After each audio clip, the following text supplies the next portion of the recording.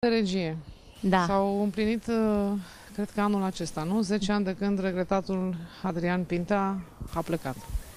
Aș vrea să vă rog să-mi vorbiți despre el ca actor, ca profesor, uh, regizor, profesor universitar, prieten. Și mai Să-mi mult de atât. vorbiți Și mai mult de atât, da. Să-mi vorbiți despre el, atât cât Um, puteți să o faceți. Nu există mari opreliști în a vorbi despre ceea ce a reprezentat Adrian Pintea pentru mine și pentru toți cei din jurul nostru, dar din respect pentru partenerul meu actual, pentru soțul meu, Laurențiu, uh, care este un om tare bun și cu minte. Um, am să o fac în felul meu. Pentru că el a fost supus unor presiuni uh, nemeritate, uh, uriașe, unor uh, răutăți, cum nu vă puteți imagina, apropourilor de tot felul. Pentru un om care nu a făcut parte din viața publică, uh, a merge cumva în fața întregii lumi și ai prezentat trecutul, el nefiind, cum spuneam, persoană publică, doar pentru faptul că a îndrăznit să ridice privirea asupra mea și mai ales pentru faptul că și-a asumat responsabilitatea să-mi devină soț după Adrian Pintea, um, pentru el a fost foarte greu. A fost o perioadă grea. A, a fost greu de gestionat, uh, de, ge- de gestionat toată această situație.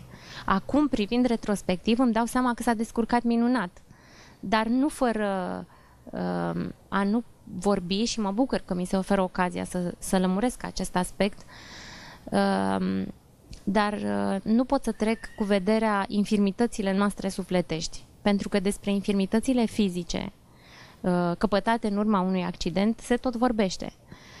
Dar ca și în uh, specialitatea pe care o urmez despre traumele sufletești, infirmitățile sufletești, care nu sunt la vedere, se vorbește prea puțin iar el a fost supus unor astfel de traume. Adică nu vă puteți închipui uh, răutatea, invidia, bârfele care au avut loc în jurul lui, un om care până atunci a dus o viață absolut obișnuită.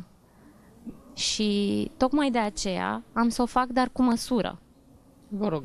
Nu pentru că uh, el cumva mi-ar împiedica uh, dorința de a vorbi despre Adrian. Împreună cu Laurențiu am fost la mormânt la Adrian. Este un om foarte înțelegător și, uh, și bun, cum spuneam. Este un om care vă respectă trecutul, doamna doctor. Și care îmi respectă trecutul, cum și eu mă străduiesc să-i respect trecutul lui.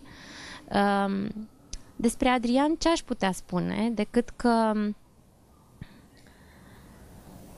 uh, îmi revine în minte mai ales calitatea lui umană excepțională, aceea de a comunica într-un mod cu totul și cu totul aparte. Pentru el, relațiile sufletești erau uh, uh, întotdeauna o prioritate.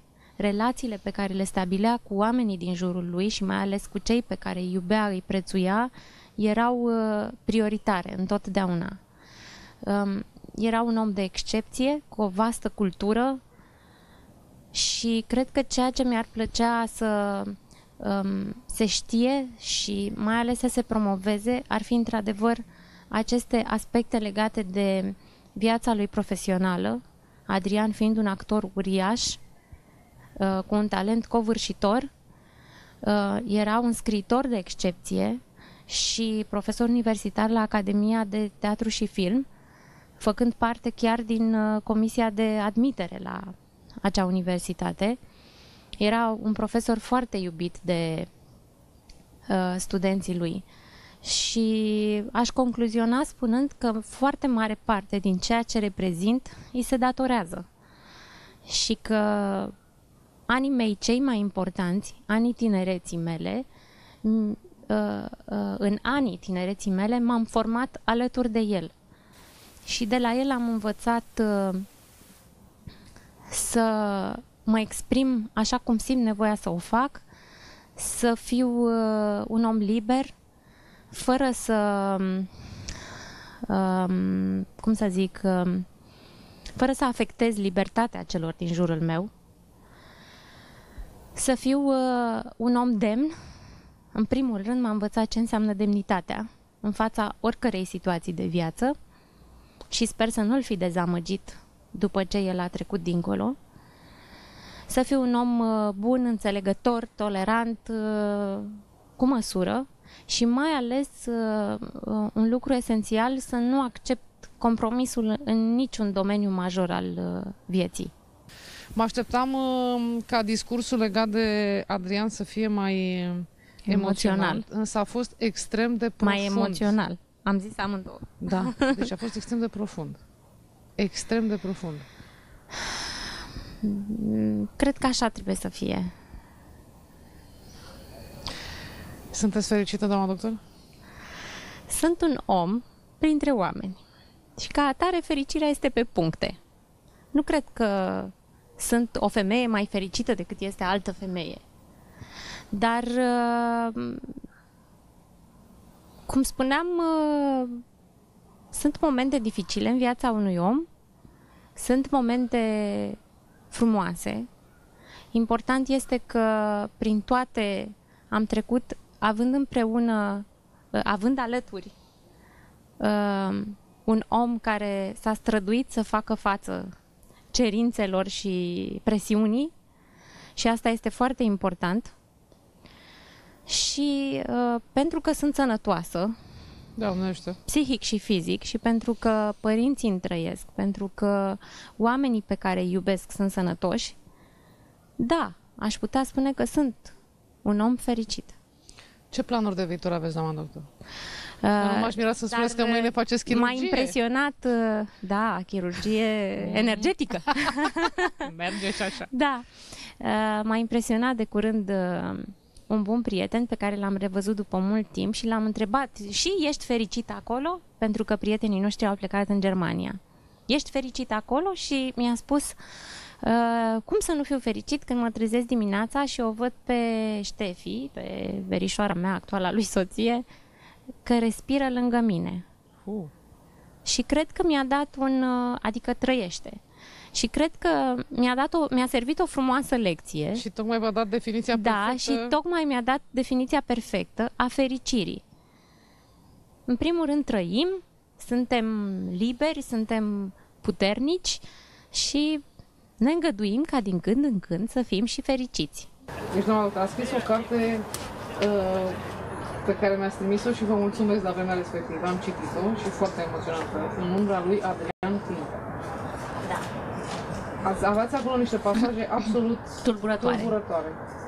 Tulburătoare. Acolo este sufletul meu, uh, tocmai pentru a încheia un capitol uh, dureros al existenței mele, pentru uh, că i-am dedicat această carte lui Adrian, în umbra lui Adrian Pintea.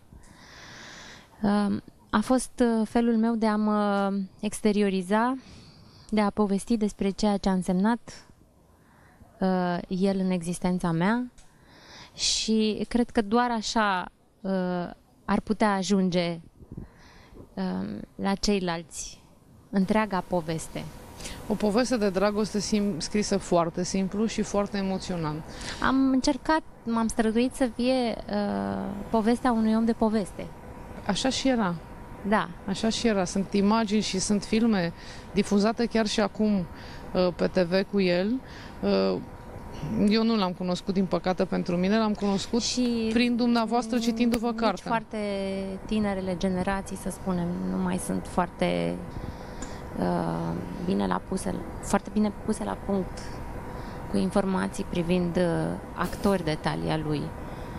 Uh, nu mă refer aici doar la Adrian, dar sunt uh, oameni care realmente uh, nu mai știu despre ei.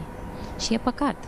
Tocmai de aceea spun că ar trebui mult mai mult uh, promovate interviurile cu ei, documentarele pe care le-au făcut, filmele în care au jucat, uh, emisiunile radiofonice înregistrate. Dacă v-ar întreba cineva Da. care nu l-a cunoscut pe Adrian, dacă ar veni și v-ar întreba și v-ar ruga să-l descrieți în câteva cuvinte, adunând în această descriere deopotrivă actorul, omul, profesorul, regizorul, partenerul, prietenul.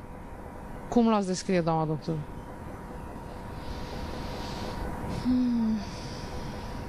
În doar foarte puține cuvinte. Sau Trebuie nu? să cuprindă esența. Sau nu? Nu în foarte puține cuvinte. Uh, iubire, onoare, cavalerism, demnitate, um, toate la un loc. Cuvintele sunt prea puține pentru a descrie o personalitate atât de complexă. Simțiți că pe veghează, doamna doctor? Aveți momente când îl simțiți aproape? Este foarte delicat pentru mine să vorbesc despre asta și cred că ar trebui așa să rămână o taină a sufletului meu, cred eu. Vă respect și vă înțeleg perfect. Întorcându-ne Dar- la... Eu am niște credințe profunde privitoare la asemenea posibilități. Da, o să-mi permit să-mi trag eu o concluzie din afară și aș vrea să vă spun unora dintre voi că o iubire nu o taie pe cealaltă, o poveste de dragoste nu e la fel cu o altă poveste de Așa dragoste este. și că orice om pe lumea asta are dreptul să fie fericit în momentul în care trebuie să fie fericit. Asta a fost cu dedicație. Bun. Da, Să... da, pentru că uh, oamenii trebuie să înțeleagă foarte clar că între ceea ce am trăit atunci și ceea ce trăiesc acum, avându-l pe Laura alături, uh, nu încape comparația. Pentru că sunt două povești total diferite. Dar total diferite. Nu au absolut nimic în comun. Și un om poate trăi două povești diferite de dragoste. Sigur. Trei povești diferite. O sută de povești diferite de dragoste. Exact. Corect? Sunt de acord Hai perfect. că până aici am înțeles. Cu psihologia mă descurc. Până la urmă- Psihiatria mă mai Până greu. la urmă încep să vă intervievez eu pe dumneavoastră. Da, da, eu mai am o, mai am o întrebare, doamna doctor. Da. Acum să ne întoarcem în zilele noastre, în locul în care ne aflăm și la meseria pe care noastră o faceți. Că tot se face tamtam la televizor cu salariile, cu medicii, că pleacă. Zilele trecute am ascultat Da. o știre la radio, uh, nemulțumirea premierului pentru faptul că au plecat în ultima perioadă 5.000, 6.000, nu știu cât, în ultimii ani de doctori și au luat câmpii și lumea. Cum vă este ca medic psihiatru acum în România, în Craiova, în România? E același lucru, cred. Uh, Dincolo de faptul că a existat un moment în care, susținându-mi teza de doctorat, uh, în primul rând cu intenția de a uh, deveni uh, cadru universitar. Și pentru că m-am încurcat la rândul meu în fuste, cum se spune, am avut și eu dezamăgirile mele.